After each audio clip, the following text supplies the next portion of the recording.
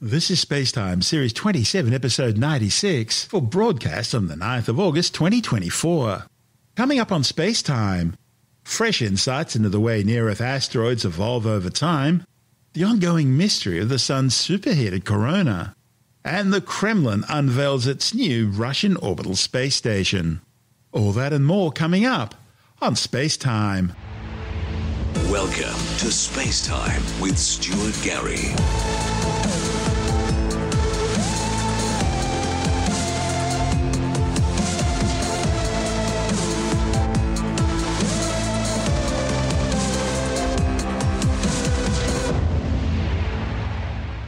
Five new studies have just been published providing fresh insights into the ways that near Earth asteroids threatening the Earth change over time.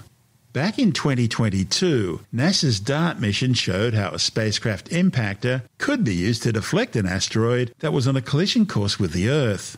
The DART, or Double Asteroid Redirection Test, saw a probe crash into a small moon called Dimorphos, which orbits around an asteroid called Didymos. The impact shortened Dimorphos's orbit around Didymos by around 32 minutes. It was an impressive feat, and scientists have since been poring over all the data for additional information. Well, they've now published all that information in five new studies in the journal Nature Communications. NASA's lead scientist for solar system small bodies, Thomas Statler, says the findings provide new insights into the way that asteroids can change over time. That's important not just for understanding the near Earth objects that are the focus of planetary defence, but also for science's ability to read the history of our solar system from these remnants of planetary formation. From the images captured by DART and its accompanying LICIACube CubeSat, the authors observed the small asteroid Dimorphos' topography, which featured boulders of various sizes. In comparison, the larger asteroid Didymos was far smoother at lower elevations, though still rocky at higher elevations, and with a lot more craters than Dimorphos. Now, the authors think that Dimorphos likely spun off Didymos in a large mass shedding event. There are natural processes that can accelerate the spins of small asteroids. And there's growing evidence that these processes may be responsible for reshaping these bodies, or even forcing material to be spun off their surfaces. Analysis suggests that both Didymos and Dimorphos have very weak surface characteristics. That led the team to suggest that Didymos had a surface age 40 to 130 times older than Dimorphos, with the former estimated to be around 12.5 million years old, while the latter is probably less than 300,000 years old. The authors think the lower surface strength of Dimorphos likely contributed to DART's significant impact on its orbit. The images and data that DART collected at the Didymos system are providing a unique opportunity for up close geological observations of near Earth asteroid binary systems. From these observations, scientists are able to infer a great deal about the geophysical properties of both Dimorphos and Didymos and expand their understanding on the formation of both asteroids. One of the papers compared the shapes and sizes of the various boulders and their distribution patterns across the two asteroids. It determined that the physical characteristics of Dimorphos indicate it was formed in stages, likely from material inherited from its parent asteroid Didymos. That conclusion reinforces a prevailing theory that some binary asteroid systems arise from shedding remnants of a larger primary asteroid accumulating into a new asteroid moonlet. Interestingly, before they settled on the name Dimorphos, the moon around Didymos was originally going to be called Didymoon which sort of reflects that way of thinking. The research team also found that thermal fatigue, that's the gradual weakening and cracking of material caused by heat, could rapidly break up boulders on the surface of Dimorphos, generating surface lines and altering the physical characteristics of this type of asteroid more quickly than previously thought. The authors were also able to determine that Didymos's bearing capacity, that is, the surface's ability to support applied loads, was at least a thousand times lower than that of dry sand on Earth or even lunar regolith. Now, all this is considered an important parameter for understanding and predicting the response of the surface, including for the purpose of displacing an asteroid. An analysis of surface boulders on Dimorphos, comparing them with those on other rubble pile asteroids including Itokawa, Ryugu and Bennu, showed that the boulders all shared similar characteristics. And that suggests that all these types of asteroids formed and evolved in a similar fashion. The authors also noted that the elongated nature of the boulders around the Dart impact site implied that they were likely formed through that impacting process. In other words, they were ejecta from the crash. These latest findings are forming a more robust overview of the origins of the Didymos system, and they're adding to science's understanding of how such planetary bodies are formed. The European Space Agency's Hera mission is now preparing for its launch in October to the Dimorphos Didymos system. Once there, in 2026, it'll further analyse the aftermath of the impact event. And so this research is providing a series of tests for what Hera will likely find and contribute to both current and future exploration missions while bolstering planetary defense capabilities. This is Space Time. Still to come, there are more questions than answers as the ongoing mystery of the Sun's superheated corona continues to baffle scientists and the Kremlin unveils the final design for its new Russian orbital space station. All that and more still to come on Space Time.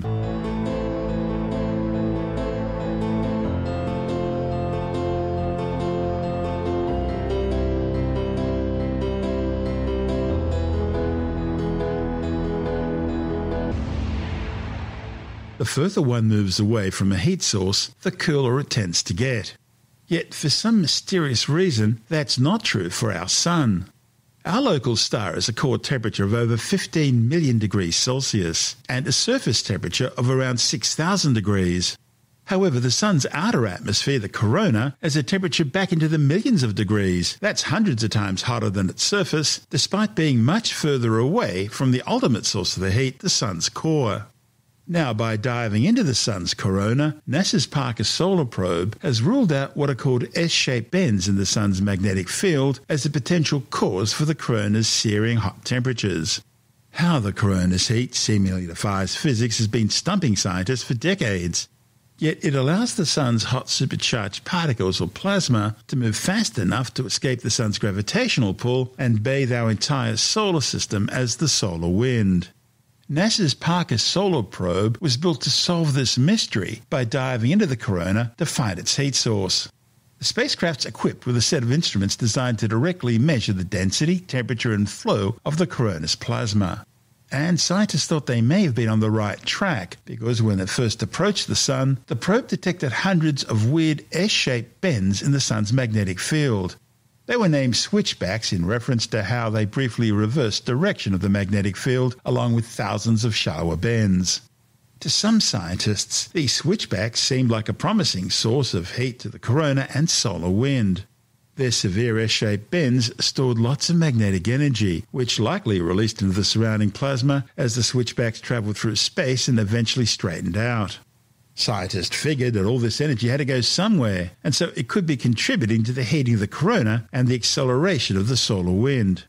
The problem is to heat the corona, these switchbacks need to be moving through it. So, learning where the switchbacks form was critical to understanding their influence on the corona's temperature. Now, after poring over all the data from the Parker Solar Probe's first 14 laps around the Sun, scientists discovered that while the S shaped bends are common in the solar wind near the Sun, they're absent inside the corona. To make matters worse, scientists still can't agree on what's actually causing the switchbacks. Some think the magnetic field's being bent by turbulence in the solar wind beyond the corona. Others think the switchbacks are starting their journey at the solar surface, when churning magnetic field lines and loops explosively collide, combining into bent shapes. But the study's new results, reported in the Astrophysical Journal letters, are ruling out the latter hypothesis. If switchbacks were being formed by colliding magnetic fields at the surface of the Sun, they ought to be even more common inside the corona, and that's just not the case. Other scientists are proposing that magnetic collisions could still be playing an indirect role in the origins of the switchbacks and therefore the heating of the corona. One idea suggests that while they must be formed outside the corona, there could be a trigger mechanism inside the corona that causes switchbacks to form in the solar wind. When the magnetic fields collide with the sun's surface, they vibrate like plucked guitar strings and send waves along the magnetic field lines into space. At the same time, the energy from these collisions creates fast streams of plasma in the solar wind. And it's this fast plasma which distorts the magnetic waves into switchbacks in the solar wind. And if some of these waves dissipate inside the solar atmosphere before becoming switchbacks, they could also be playing a part in hitting the corona. So the mechanisms which cause the formation of the switchbacks and the switchbacks themselves could heat both the corona and the solar wind. Trouble is, there's currently not enough data to favour triggers in the sun's surface over turbulence in the solar wind as the cause for the switchbacks. The Parker Solar Probe's next flyby into the sun will be on December the 24th. There, it will pass even closer, collecting even more data, which could further test various hypotheses. And needless to say, we'll keep you informed. This is Space Time. Still to come, the Kremlin unveils its latest design for a Russian orbital space station, and the red supergiant Antares, the second nearest star system to the Sun, and the peak of the annual Perseids meteor shower are among the highlights of the August night skies on Skywatch.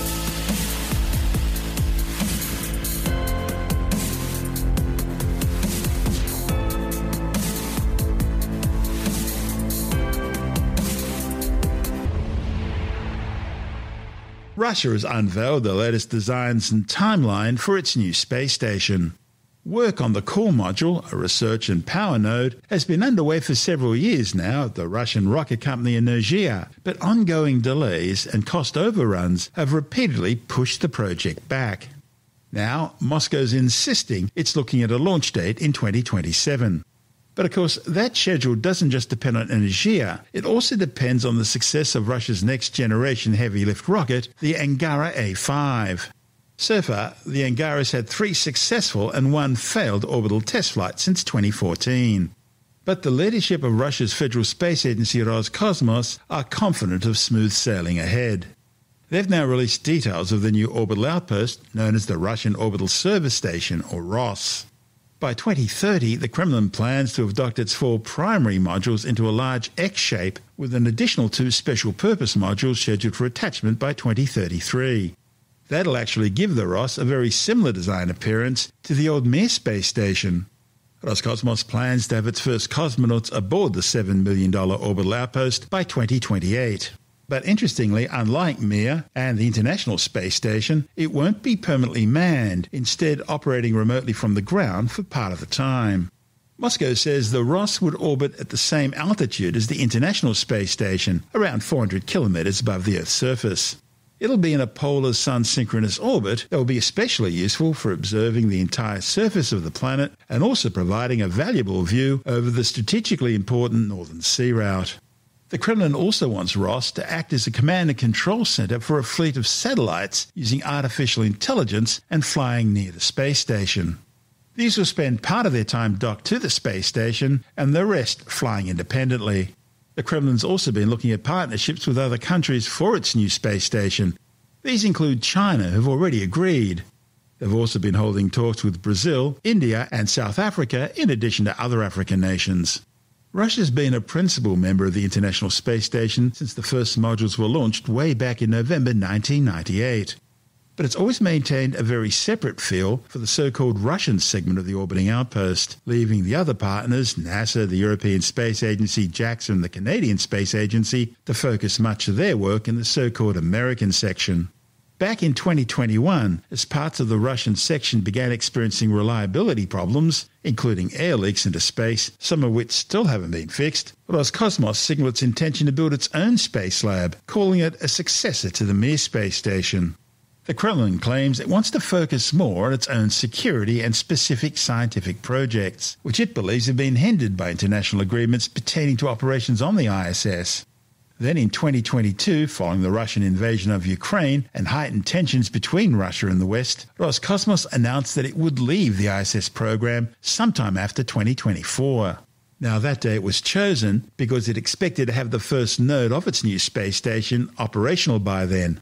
With delays there, Russia was forced to change that date to sometime after 2028.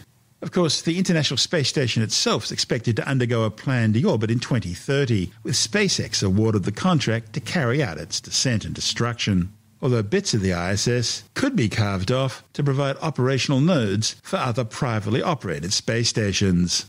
This is Space Time.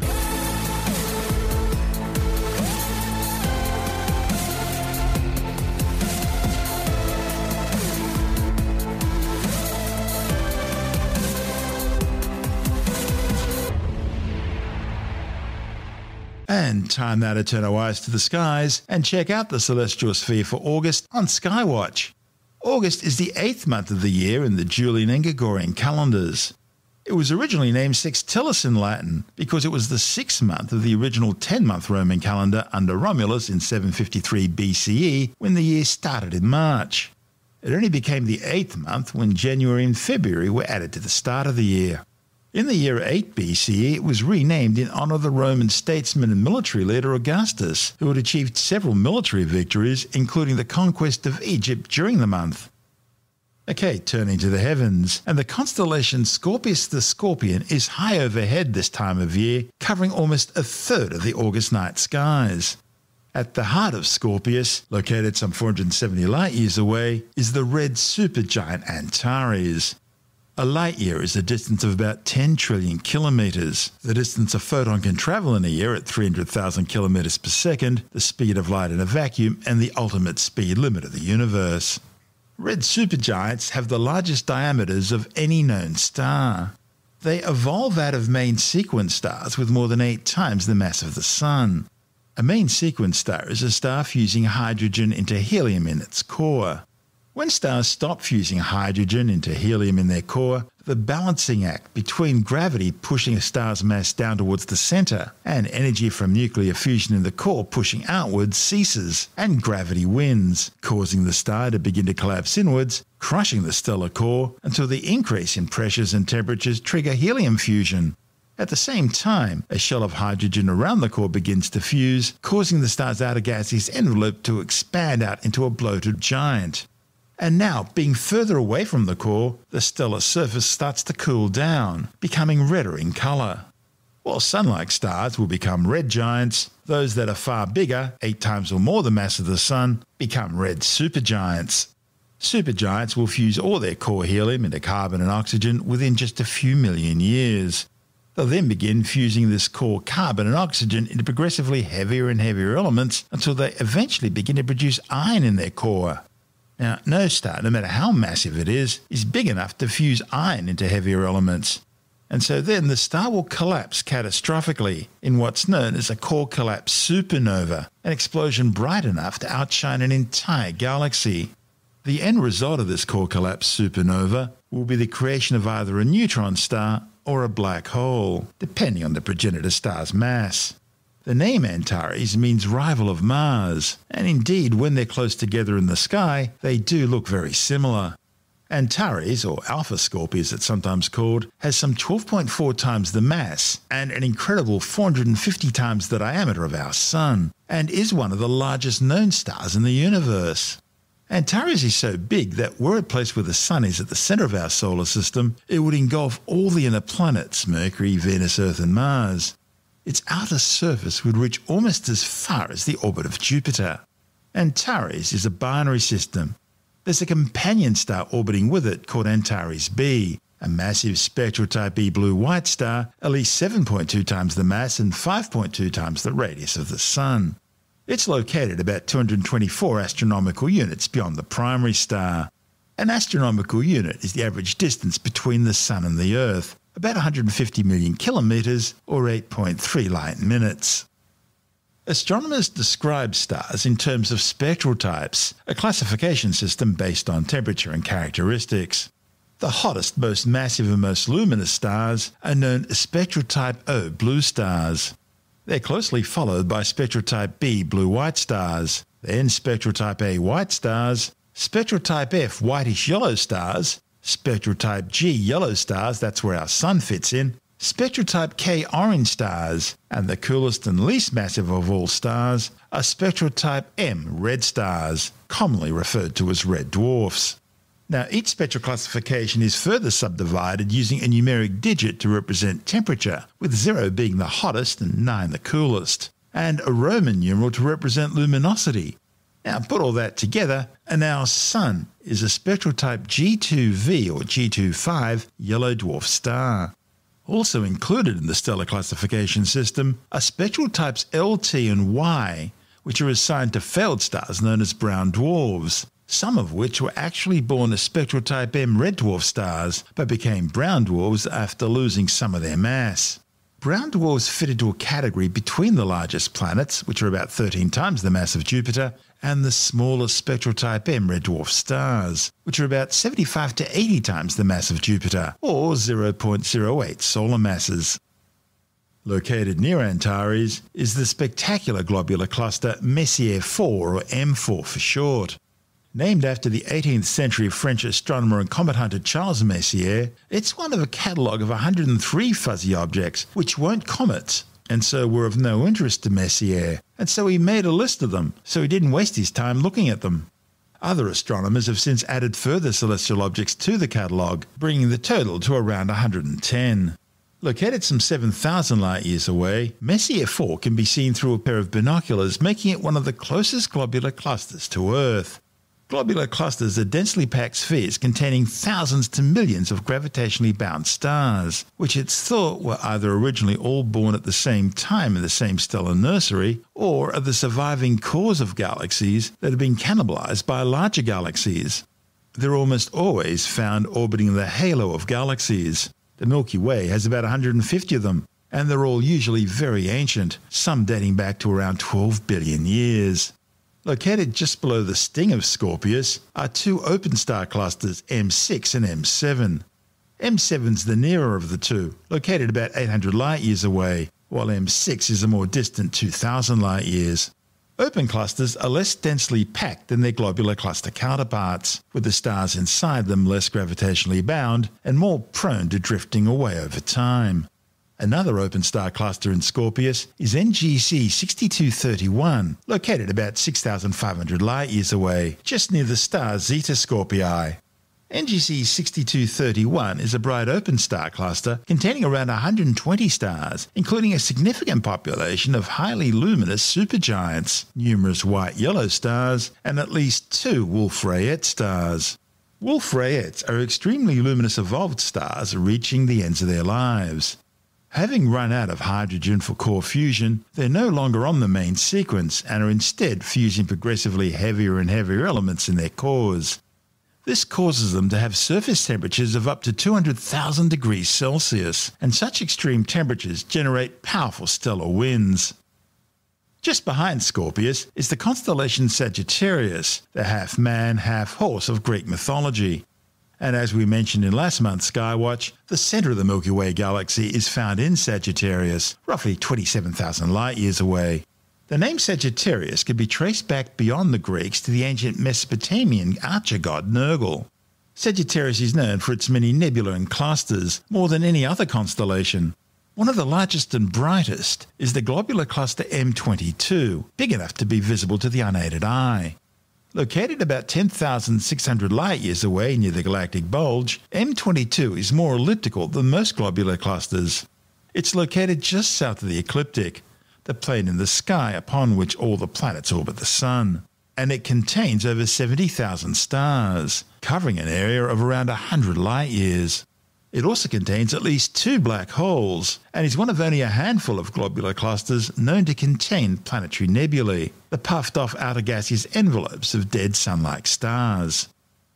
Located in the sky next to Scorpius in the west and Sagittarius in the east is the constellation of Ophiuchus, the healer or serpent bearer, often portrayed as a snake coiled around a man. In Greek mythology, Ophiuchus raises Orion from the dead after he was bitten by Scorpius. Ophiuchus contains several star clusters and other interesting features, including Barnard Star. Barnard Star is the second nearest star system to the Sun, beaten only by the Alpha Centauri triple star system. Located some 5.9 light years away, Barnard Star is a spectral type M red dwarf, about 0.144 times the mass of the Sun. Our Sun is around 4.6 billion years old. At between 7 and 12 billion years of age, Barnard's star is considerably older than the Sun and may be among the oldest stars in the Milky Way galaxy. It's lost a great deal of rotational energy, and its periodic slight changes in brightness indicate that it's rotating about once every 130 days. By comparison, our Sun rotates roughly once every 29 days. Given its age, Barnard's star was long assumed to be quiescent in terms of stellar activity. But in 1998, astronomers observed an intense stellar flare, indicating that Barnard star is indeed a flare star. Flare stars are variable stars that can undergo unpredictable dramatic increases in brightness lasting a few minutes. It's believed that the flares of flare stars are analogous to solar flares in the Sun, in that they're generated by stellar magnetic energy stored in the star's atmosphere. Lying just to the west of the Scorpion is the constellation Libra, the Scales. In Greek mythology, Libra represents the claws of Scorpius the Scorpion. However, the Romans considered Libra a distinct separate constellation from Scorpius and thought them to be the scales symbolizing the equinoxes, the times of the year in March and September when the Earth gets equal lengths of day and night. That's because 2,000 years ago, when all this was made up, the Sun moved into Libra at the time of the September equinox. But due to precession, as the Earth's spin axis wobbles in direction, this point in time has now moved into the adjoining constellation of Virgo. If you look to the south in the Southern Cross, that's the constellation Centaurus, another half man, half horse mythical beast. Centaurus was the teacher of many of the Greek gods and heroes. He was placed among the stars in the heavens after accidentally being killed by a poisoned arrow fired by Hercules. Close to the pointer star nearest the Southern Cross, Beta Centauri, lies NGC 5139, Omega Centauri, the largest and brightest globular cluster in the visible sky. Because of its brightness, the ancient Greek mathematician and astronomer Claudius Ptolemy originally thought Omega Centauri was a star. It has a diameter of more than 150 light years and contains an estimated 10 million stars, giving it some 4 million times the mass of our Sun. Located some 15,800 light years away, Omega Centauri is another very ancient globular cluster, around 12 billion years old. And it contains many so called population 2 stars. These are the second generation of stars to have formed and were created directly out of the remains of the very first stars in the universe. Stars in the core of Omega Centauri are so crowded, they're estimated to average only 0.1 light years away from each other and that compares to the nearest star to our Sun, Proxima Centauri, which is some 4.2 light years distant. Located close to Omega Centauri in the sky is the giant lenticular galaxy NGC 5128 Centaurus A, which we see looking like it's split in half by a thick band of dust. The galaxy was discovered in 1826 by astronomer James Dunlop from his home in what is now the Sydney suburb of Parramatta, a time long before the bright lights of a modern city would make such a discovery impossible. Located some 13 million light years away, Centaurus A is one of the strongest radio sources in the sky and is thought to be the result of a merger between an elliptical and a spiral galaxy. It can be easily seen using a pair of binoculars, but you'll need a telescope to make out its spectacular dust lanes. August is also the time of the peak of the annual Perseids meteor shower. The meteors are the debris trail ejected by the comet Swift-Tuttle as it travels along its 133-year orbit through the solar system. As its name suggests, the Perseids radiant, that is the point in the sky from which the meteors appear to originate, lies in the constellation of Perseus. The Perseids are one of the oldest known meteor showers, with early Chinese historical records of its activity going back almost 2,000 years. They're active between July the 17th and August the 24th, with a peak on August 12th with around 60 meteors an hour being visible. The Perseids are very bright and fast moving meteors, travelling at speeds of 59 kilometres per second. They're best seen between midnight and just before dawn, producing long bright trails and some fireballs. Most Perseids burn up in the atmosphere at altitudes of over 80 kilometres. They're best seen from the northern hemisphere, so for southern hemisphere sky watchers, look to the north with the radiant below the northern horizon. And now, with our tour of the rest of the August night skies, we're joined by Jonathan Nally from Sky and Telescope magazine. G'day, Stuart. Well, you go out in the evening at this time of the year, you'll find the Milky Way, which is our galaxy seen from the inside, of course, and it's stretching all the way across the sky from the northeast down to the southwest. That's sort of in you know, mid-evening, 8 o'clock, 9 o'clock, that sort of time. The centre of the Milky Way, which is in the region of Sagittarius, is directly overhead for those where I live uh, at the latitude of Sydney in the southern hemisphere. Having the galactic centre nice and high directly overhead is one of the reasons why so many observatories have been set up in the southern hemisphere because this is where you get the best view of it. And there's just so much to see towards the centre of the galaxy. You're looking sort of through the right into the, the sort of central part of the city, if you like. So there's lots of stuff there, and star clusters and nebulae and big star clouds and everything you want. It's all in the one spot, like a supermarket of uh, I've never used that analogy before. It's like a supermarket of space. But anyway, having the galactic centre up there is, is really good. So this time of year, unfortunately, of course, for us in the southern hemisphere, it's freezing cold. It's middle of winter, but that's what you've got to put up with to get the best views of the southern sky. Our friends up in the northern half of the planet, of course, uh, it's nice summertime up there, so lovely viewing weather, viewing conditions at night. But for most people in the northern hemisphere, you can't really see the uh, the centre of the galaxy area too well because it's low down on the southern horizon. And for a lot of people, you know, quite far north, they can't see it at all because it's below the horizon for them. So they've got to come down here, have a holiday, and uh, get some decent views of the southern sky. And speaking of the southern sky, down in the south, we've got the Southern Cross. It's high in the southwestern part of the sky in the evening during August, and it's lying on its right hand side. It's,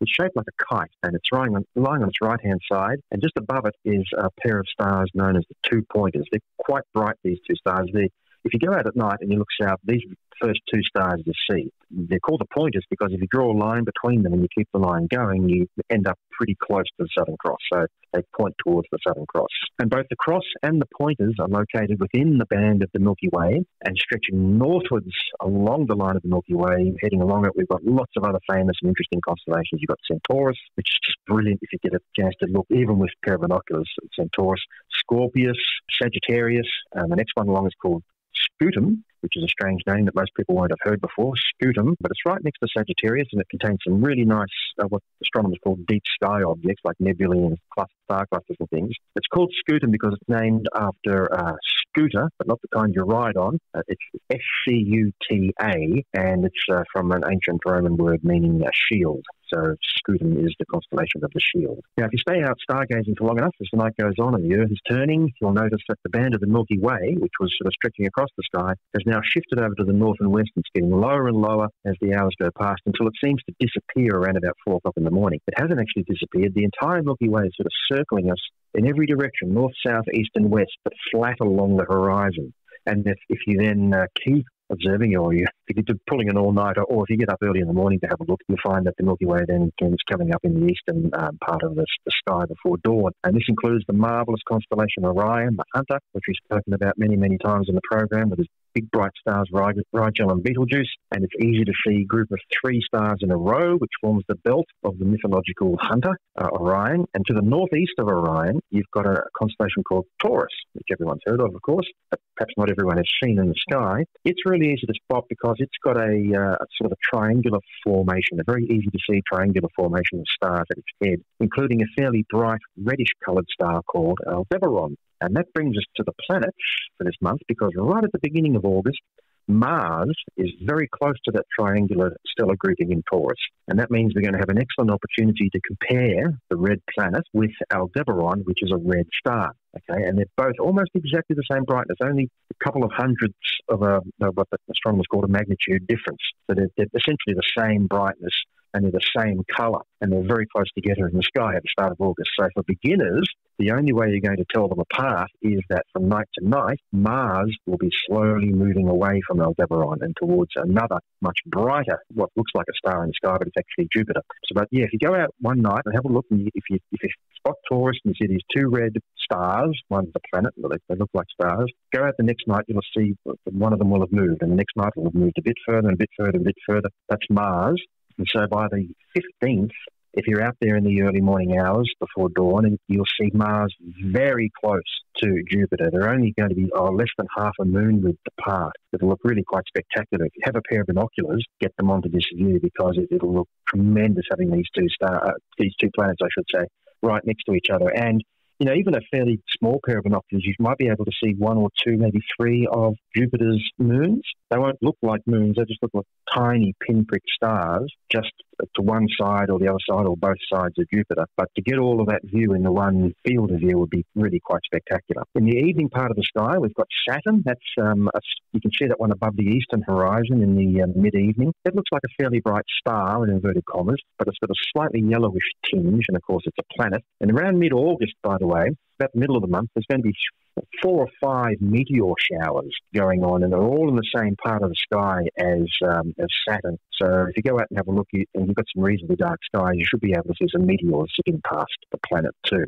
The other two planets visible this month are Mercury and Venus, and both of them can be found low above the western horizon after sunset. So till the sun goes down, when it's starting to get a little bit dark, you should be able to see um, Mercury and Venus. Venus is big and bright. You won't miss it. You won't, and you won't mistake it for anything else. It's really big and bright. Whereas Mercury is more of a little tiny pinprick of light. And if you want to see Mercury, you have to be quick because uh, even though you'll be able to see it at the um, start of the month, low on the western horizon, it's going to get lower and lower in the sky. So by the end of the second week, it'll be gone. It'll be out of view, lost in the, the glow of the um, the sunset. Venus, though, is going to be okay because it's going to be climbing higher and higher as each night passes during August. So as long as the weather's okay and you've got a fairly clear horizon, no mountains or buildings in the way, you should be able to see Venus all the way through August. And that, Stuart, is uh, the, uh, the sky this month. That's Jonathan Nally from Sky and Telescope magazine. And this is Space Time.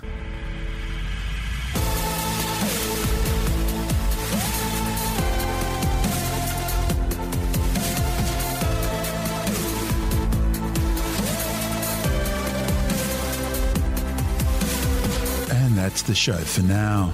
Spacetime is available every Monday, Wednesday, and Friday through Apple Podcasts, iTunes, Stitcher, Google Podcast, Pocket Casts, Spotify, Acast, Amazon Music, Bitesz.com, SoundCloud, YouTube, your favorite podcast download provider, and from spacetimewithstuartgary.com. Spacetime's also broadcast through the National Science Foundation on Science Zone Radio and on both iHeartRadio and TuneIn Radio and you can help to support our show by visiting the Spacetime store for a range of promotional merchandising goodies. Or by becoming a Spacetime patron, which gives you access to triple episode commercial free versions of the show, as well as lots of bonus audio content which doesn't go to air, access to our exclusive Facebook group, and other rewards.